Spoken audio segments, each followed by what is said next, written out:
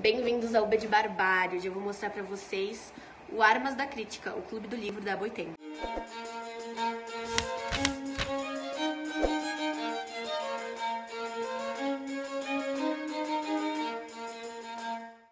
Eu entrei em contato com a Boitempo para receber essa caixinha, especialmente para fazer essa apresentação para vocês. Como eu disse no vídeo anterior da playlist, eu quero apresentar diversos clubes para que vocês possam escolher de qual participar. O Clube da Boitempo Armas da Crítica, ele tem a ideia de munir o seu associado de arsenal teórico para fazer uma crítica né, do mundo, para poder olhar para ele com outros olhos. Então, apesar de a Boitempo publicar ficção, a ficção não está inclusa nesse clube de leitura. Eu achei bem interessante também nessa proposta, e vocês vão ver quando eu fizer a abertura da caixinha, que existe um material de revista, porque eu acho que a gente perdeu um pouco esse costume de ler revistas e talvez esse clube possa contribuir né, com a retomada desse hábito. Como eu disse também no outro vídeo, eu não vou falar de valores aqui, porque senão a gente deixa esse vídeo muito antigo, né? Qualquer modificação nos valores, nos planos, esse vídeo fica ultrapassado. Então, aqui no bloco de descrição vai ter o link para você que quer assinar o Armas da Crítica. Entrem lá e agora eu vou abrir com vocês essa caixinha. Então, vou mostrar para vocês o kit de dezembro do Armas da Crítica da Boitempo. Eu coloquei esse post-it aqui para preservar o meu endereço. Eu já passei o estilete, então a gente não vai precisar. Espero não passar a vergonha de precisar depois de ter dito isso. E vamos lá, ele vem bem protegido. Abrindo aqui o kit, vamos ver. Ah, tem essa bolsinha, essa eco bag.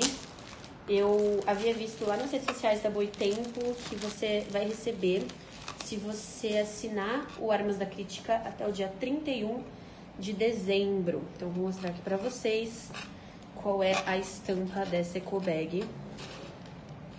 Armas da Crítica, o Clube do Livro da Boitempo, e tem essa ilustração bem bonita e a parte de trás é lisa. Esse mês a gente ganhou um postalzinho de Karl Marx de toquinha de Natal. Um adesivo, né, que tá aqui, minha carne, diário de uma prisão, Preta Ferreira, Armas da Crítica. Então ele é relativo ao mês. Um marcador do livro. O livro selecionado, então, que nesse mês foi da Preta Ferreira, Minha Carne, Diário de uma Prisão, como eu havia dito. Essa capa tá muito bonita. Eu vou folhear aqui para vocês verem.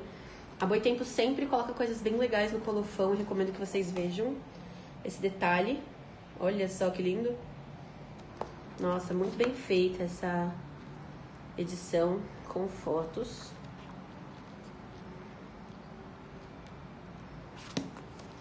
E a parte interna aqui também, deste lado, com a foto da preta. Temos mais um marcador, esse aqui é do Cria de Favela, da Renata Souza, outro livro da editora, e também a revista da Boitempo, a margem esquerda, referente ao período, então, segundo semestre. Entrevista com a Luísa Erundina, materiais sobre a pandemia, bem legal. É uma brochura, não é fina, tá? Como costumam ser revistas de bancas, acredito que por ser semanal e ter um conteúdo mais denso, ela tenha essa grossura, né? Então é legal comentar. E mostrando aqui pra vocês, então, todo o material que veio.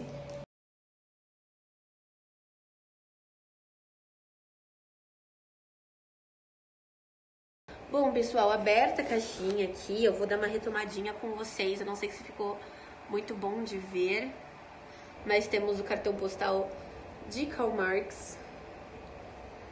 Temos o adesivinho. Eu achei bem legal que o adesivo seja de cada livro, inclusive. Eu não sei se vocês repararam, mas eu não tinha notado antes. Aqui tem o número 2, né? Porque esse aqui é o segundo kit do Armas da Crítica. Os marcadores a eco bag me parece bastante firme, viu, gente? Eu tenho muitas eco bags, então já é uma coisa que eu olho de cara. E eu achei bem legal ela ser em preto e vermelho, é uma cor que combina com tudo, né? E eco bag a gente sabe que a gente carrega para cima e para baixo, ainda mais a gente que é leitor, parece que tem um tem uma relação intrínseca. O livro da Preta Ferreira tá muito bonito, tá muito bonito. E ele veio autografado. Eu não tinha conseguido ver antes na hora que eu folheei. Mas a coisa mais linda, mais delicada do mundo. Acredito que eles vão fazer isso com algumas outras edições, pelo menos que tenham autores nacionais, é claro. E o Margem Esquerda, né, que é a revista que eu tinha me referido. Como eu disse para vocês, é uma brochura mais grossa, né, do que a gente costuma encontrar. Ele é de ensaios, assim, bem, uh, bem longos. Eu ainda não li nenhuma edição da Margem Esquerda, essa vai ser a minha primeira experiência, mas eu tô bastante empolgada, assim. É muito legal para alguém como eu, que sou jornalista, ver uma publicação de tal qualidade, assim. Dá pra ver que valoriza o material interno que traz, sabe? Então, por exemplo, tem um poema quem Sou Eu, de Angela Davis, aqui no final, sabe? Então me parece que ele reúne diversos gêneros, diversos materiais. Parece bem interessante. Traz também aqui algumas informações, né? Alguns materiais da própria Boitempo, como lançamentos, aniversários de autores, né? A gente está tendo agora o centenário de Engels, por isso a publicação também da biografia dele. Eu tô falando agora com vocês, né, para quem tá vendo do futuro, em dezembro de 2020.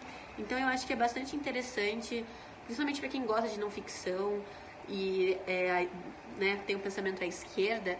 Eu acho que é impossível ficar distante das publicações da Boitempo e o Armas da Crítica talvez seja um bom clube para você manter né, essa ligação, esse contato e, e receber as novidades na sua casa, né?